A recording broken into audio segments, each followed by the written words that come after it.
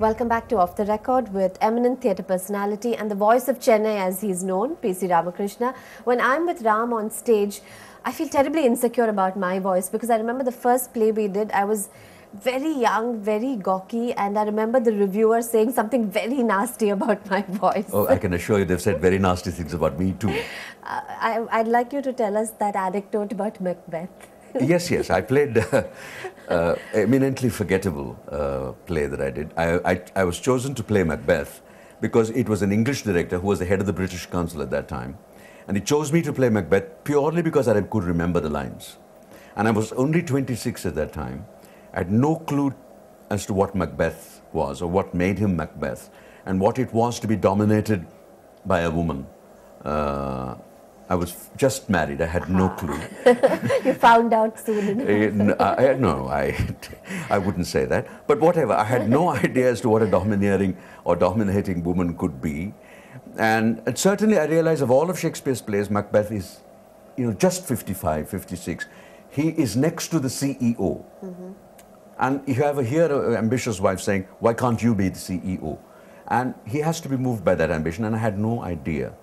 Uh, and it was disaster as an actor. And at the end of it, there was this review which said uh, we, there were so many things about Macbeth we did not like: the furniture, the the X, Y, Z, and Macbeth. but I think over the years, uh, we've all become very immune to these reviews. We've become very thick-skinned. Uh, I don't know about immunity, but certainly I have learned to regard a review as valid being one person's opinion. Mm -hmm. I mean, uh, this, there is a reviewer and he or she has a valid opinion, hopefully, if he or she is honest. And it's an opinion. It need not be the opinion shared by others. So long as you're able to look at it as one person's opinion and not let your career be influenced by that and continue to do honestly uh, what you are doing, I think it, you're, you're okay. Of course, it hurts.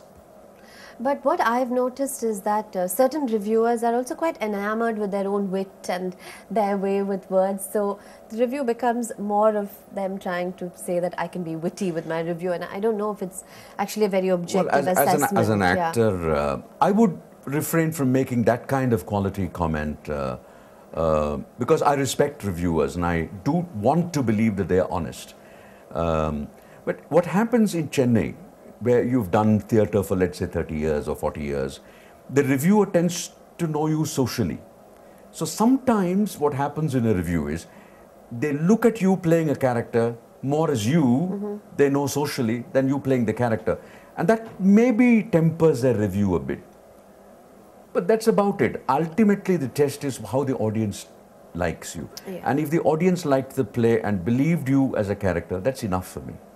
And um, looking at the audiences that come in, I, I was really uh, very, very pleased to see the audience at uh, Swami and his friends. Yes. What, is, what has been your favorite play, Ram? You've done so many now. As an actor, I would put Adhe Adhure very high because that enabled me to play five characters in the same play. It's five men operating in the mind of this woman. Uh, there are other plays which Mercy. you mentioned, uh, uh, Dance Like a Man. Yes. It's a favorite play of mine where the device used by Mahesh for the character to move from being son to father by the switch oh, of the shawl uh, is very interesting. And the seamless move between the past and the present interested me. Uh, for, a, for a totally different reason, I enjoyed playing uh, Malvolio in Twelfth Night. Hmm. And yes, I I, I have a very great fondness, for very obvious reasons, for Mercy, which was a solo theatre effort I did in 2005 as a celebration of 50 years of Madras Players. I had adapted myself Shiva Shankari's novel Karunai Kolai uh, as Mercy and I did it. So it's, it has a very special place in my heart.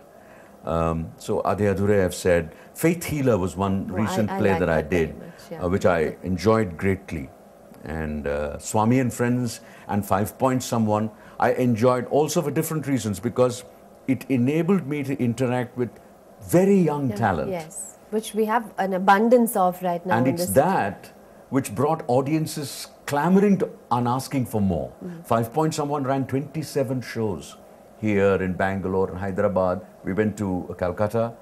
Uh, a, because of the book itself, which people had read. And secondly, it was a tremendous adaptation by Nikhila Keshavan and was directed by her. So also with Swami and Friends, Amanasi Subramaniam adapted it, uh, Aruna both very young directors in their 20s and directing old fossils like us.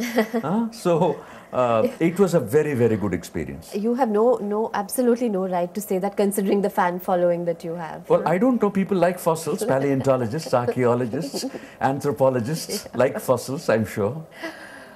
Uh, so, what made you give up your full-time job? I know you you graduated out of IIM and you were working for a No, a correction. I did not graduate out of IIM. I joined IIM. Oh, really? I didn't yes, know yes. that. Oh, you didn't? Uh, I joined IIM and found that there was so, so much mathematics in it, and I had no mathematics to save my life. I'd given up mathematics in sixth standard, which was allowable in, in a senior Cambridge syllabus in Calcutta. And this was not picked up by the IIM people who interviewed me. And when I joined, there was 18 hours of maths a week. And starting with integration and calculus.